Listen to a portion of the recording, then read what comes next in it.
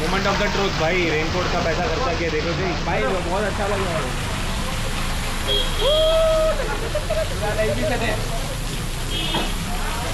इधर गीला हुआ है। हो गया मैं भी हुआ मुझे सूखा है पूरा। मैं उतार रहा हूँ पूरा। ऐसे ऐसे वो वाला करना है तो चार कपूर वाला।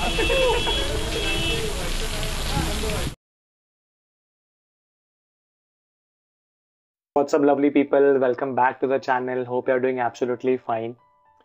So guys monsoon आ गया है बारिश जो है अभी काफ़ी बढ़ गई है तो आप जैसे और मेरे जैसे राइडर्स काफ़ी सारे वेट कर रहे थे कि कब गर्मी जाएगी और कब बारिश आएगी फिर हम निकलेंगे अपनी अपनी बाइक्स पे और जो है न्यू न्यू प्लेस एक्सप्लोर करेंगे सो uh, गाइस uh, आपको पता है कि वीडियो जो है रेनकोट के बारे में है एक हफ़्ते पहले ही मैंने अपनी रिसर्च चालू की थी कि भाई कौन सा रेनकोट अच्छा है तो मैंने ख़रीद लिया था और कल ही के दिन मतलब 6 जुलाई को सैटरडे को मैं गया था मार्चेस घाट अपने फ्रेंड्स के साथ राइड पे। तो ये रेनकोट को मैंने आठ, नौ घंटे तक पहना था, पूरे दिन तक पहना था और मुझे रेनकोट जो है काफ़ी अच्छा लगा है। तो सोचा आपके साथ फीडबैक शेयर कर देता हूँ। सो गाइस ये वीडियो किसी भी दूसरे प्रोडक्ट से कंपैरिजन के बारे में नहीं है। ना ही मैं कह रहा हूँ कि ये जो प्रोडक्ट है, काफ़ी बेस्ट है या यही रेनकोट सबसे अच्छा है। और तीसरी चीज़, आप देख सकते हो कि मेरा चैनल बिल्कुल छोटा है तो ये वीडियो बिल्कुल भी स्पॉन्सर्ड नहीं है। तो जो भी है एज ऑलवेज जो भी मैं आपका फीडबैक शेयर करता हूँ जो भी बाइक की बाइक की बाइक रिलेटेड चीज़ें यूज़ करता हूँ, आपके साथ उसके रिव्यू शेयर करता हूँ। तो उसी तरह this video is all about the review और एक्सपीरियंस जो मैंने रेनकोट लिया है उसके बारे में। तो गाइज़ चलिए फिर स्टार्ट करते हैं प्रोडक्ट के बारे में।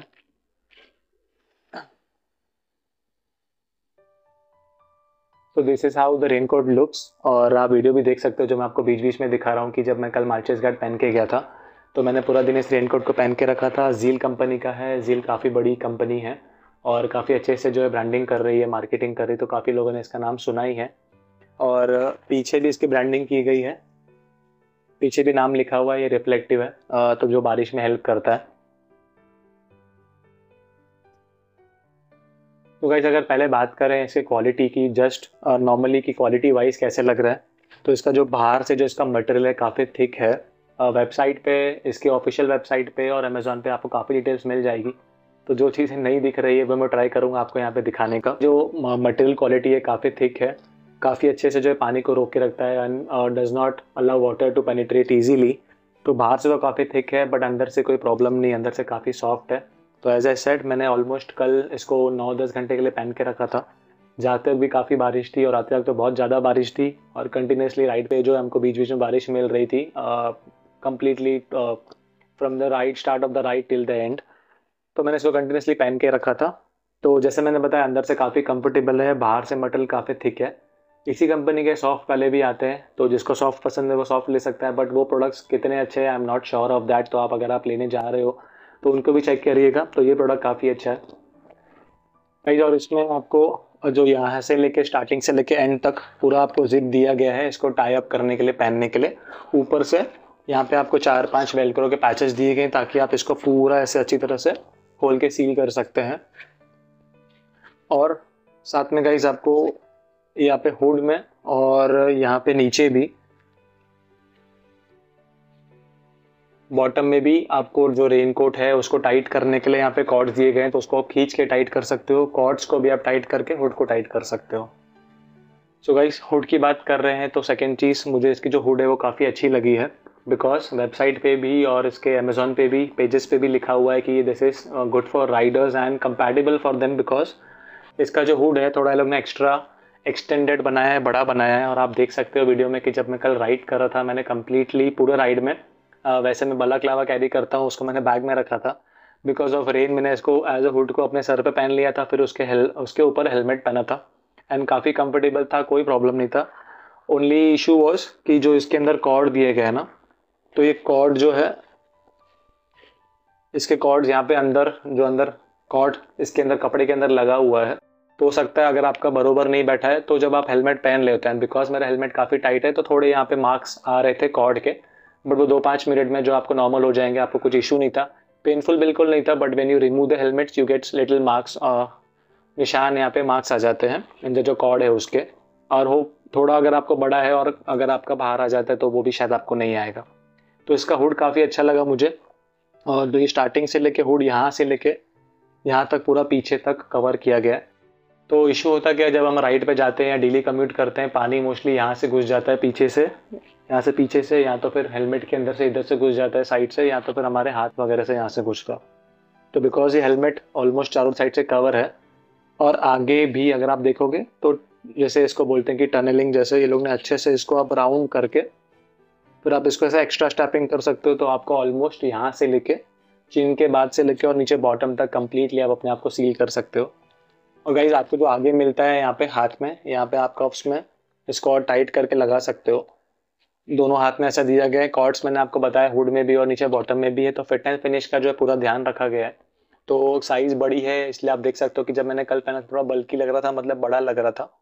और मटेरियल काफ़ी थिक है, उस वजह से आपको फील होगा कि थोड़ा हैवी भी है। ये डेफिनेटली जो सॉफ्ट वाले आते हैं, उनसे थोड़ा हैवी है बट आप राइड कर रहे हो, आप बैठ जाओगे तो आपको उसका बिल्कुल भी वेट इतना फील होने वाला नहीं है।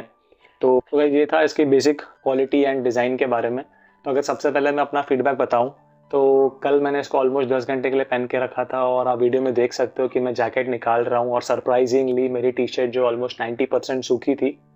जब मैंने वहाँ पे निकाली थी मालचस घाट में, फिर हम लोग वाटरफॉल पे नहाने के बाद आए, फिर मैंने कपड़े चेंज किए, फिर मैंने घर पे आके वापस वीडियो में रिकॉर्ड किया कि जब मैं निकाल रहा हूँ जैकेट तो फिर भी मेरी जो T shirt almost ninety ninety five percent सूखी थी।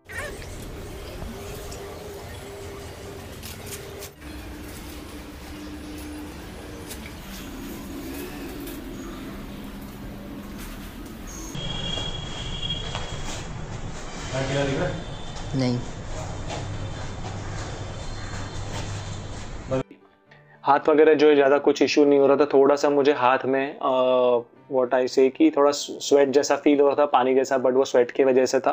पानी कहीं से पेनिट्रेट नहीं हुआ था। अगर पानी यहाँ तक जा भी रहा था अगर, और टी शर्ट थोड़ी सी गीली हुई थी नीचे से मेरी, जैसे मैंने कहा कि 90 परसेंट चुकी थी। वो भी गीली मुझे इसलिए लग रही है, हुई थी कि बिकॉज़ हम राइड पे जाते हैं तो बार बार अपना सामान निकालते हैं, रखते हैं। तो जैसे मेरे पास कैमरा था या जैकेट्स थे, मेरा ग्लव्स थे तो बार बार मैं अपना फ़ोन निकाल रहा था या कैमरा अंदर रख रहा था पॉकेट में या जो भी सामान था तो उस वजह से पैंट में नीचे कर रहा था। आ, उसकी वजह से थोड़ा पानी गया होगा। या नहीं तो भी अगर आपको 90 परसेंट भी रख रहा है तो आई वुड से क्या वॉज़ वेरी सेटिस्फाइड जो प्रोडक्ट है उसके हिसाब से। तो वैसे अगर पैंट की बात करें तो इसकी जो क्वालिटी है फील एंड लुक से क्वालिटी काफ़ी अच्छी लग रही है। कल मैंने पहना था एंड डेफिनेटली टी शर्ट से ज़्यादा तो मेरी पैंट सूखी थी तो वो ऑलमोस्ट नाइन्टी नाइन परसेंट मेरी पैंट सूखी थी बिल्कुल भी गीली नहीं हुई थी। तो नॉर्मली अगर आप पैंट लेने जाते हो मार्केट में थ्री हंड्रेड या फोर हंड्रेड पे करके तो आपको जो क्वालिटी मिलती है सब स्टैंडर्ड वाली, उसमें होता क्या है पैंट जो जल्दी फट जाती है बिकॉज़ बाइक पे आप बार बार उठते हो या बैठते हो ट्रैफ़िक की वजह से आप अपने आपको एडजस्ट करते हो तो काफ़ी जो है पैंट बहुत बहुत बार ऐसे होता है कि नीचे से फट जाती है, और उसी रीज़न से इसको जो आप देख सकते हो कि एक्स्ट्रा यहाँ पे क्लोथ की कोटिंग दी गई है, और उसके ऊपर सिलाई की गई है। कौन सा मटेरियल है I am not sure but वो वेबसाइट पर आप देख सकते हो। तो उस चीज़ का भी ध्यान रखा गया है एंड ओवरऑल क्वालिटी जो मुझे काफ़ी अच्छी लग रही है। सो कई जैकेट में अभी स्टाइल एंड डिज़ाइन की अगर बात करें एंड कलर्स की बात करें तो this is how it looks तो स्टाइल आई वुड से कि ज़्यादा फैंसी भी नहीं है सोबर uh, है एंड काफ़ी डिसेंट दिखता है।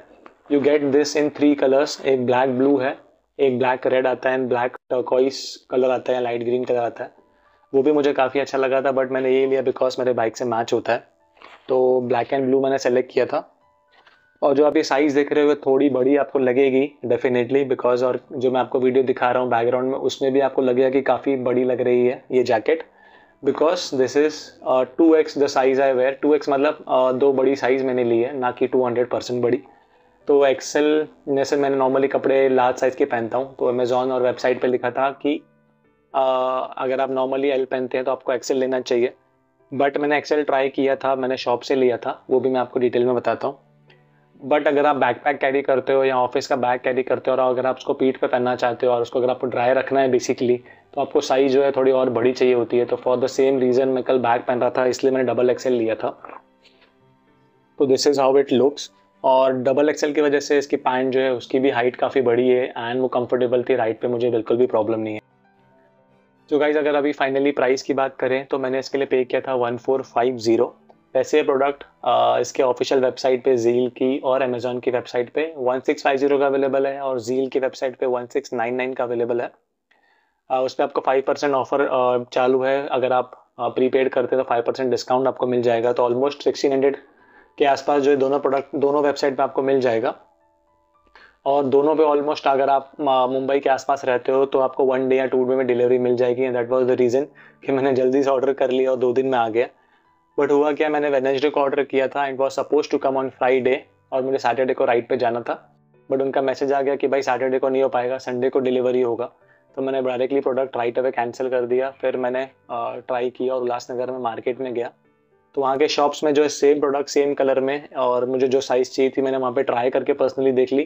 एंड जो डील भी उससे अच्छी मिली, मैंने इसके लिए पे किया one four five zero rupees only तो प्राइस के हिसाब से इसकी क्वालिटी एंड जो मेरा कल का एक्सपीरियंस था, इसने मुझे बारिश से काफ़ी अच्छे से बचा के रखा तो I am very satisfied with price now talking about the reason कि मैंने ये क्यों चूज़ किया, मुझे क्यों अच्छा लगा, सबसे पहली चीज़ ये कि ब्रांडेड है और दूसरी चीज़ कि अमेजोन एंड फ्लिपकार्ट ये जील ब्रांड का हाईएस्ट रेटेड प्रोडक्ट है, इसको 4.2 या 4.3 रेटिंग दी गई है। और साथ में देर इज़ अमेजोन पे और दोनों फ्लिपकार्ट ऑलमोस्ट पाँच छः हज़ार रिव्यूज़ है इस प्रोडक्ट के बारे में। प्रोडक्ट बिल्कुल भी न्यू नहीं है मतलब एक साल, दो साल पुरानी डिज़ाइन है। बट इसके जो रिव्यूज़ है अमेजोन पे almost five thousand plus reviews है और काफ़ी सारे रिव्यूज़ मैंने जाके डेप्थ में चेक किया कि जो डेली कम्यूट करते हैं और राइडर्स लोग हैं, उन्होंने अपना फीडबैक शेयर किया है कि भाई ये बारिश में काफ़ी अच्छे से काम करता है। तो almost ninety percent reviews bikers लोग काफ़ी अच्छे थे। एक दो लोगों को डेफिनेटली कोई प्रॉब्लम आया होगा प्रोडक्ट को रिलेटेड या बारिश ज़्यादा हो गई होगी या जो भी इशू रह गए। तो दैट वॉज़ द केस इसलिए मैंने इसको परचेज़ किया और साथ में प्राइस भी मुझे इसका जेन्यून लगा। बिकॉज़ आप राइनॉक्स वगैरह का लेते हो तो वो भी सेम प्राइस में जाता है। उसमें शायद पैंट आती है नहीं, आती I am not sure and I am also not comparing other products बस मेरा जो एक्सपेक्टेशन था वो मीट हो गया। वैसे मैं आपको बता रहा हूँ I am satisfied with the price quality और इसका जो भी इसने मुझे कल हेल्प की है, पानी से बचाया उसके बारे में। गाइस इतना ही था ये वीडियो में आपके साथ शेयर करने के लिए। तो जो भी मेरा एक्सपीरियंस था और मेरा फीडबैक था, वो मैंने आपका शेयर कर लिया। तो अगर इन्फॉर्मेशन या वीडियो अच्छा लगे तो दूसरों के साथ ज़रूर शेयर करना, जो भी रेनकोट लेने का सोच रहे हैं। And thanks for watching till the end as always stay safe drive safe and monsoon चल रहा है तो खास करके ride safe take care bye bye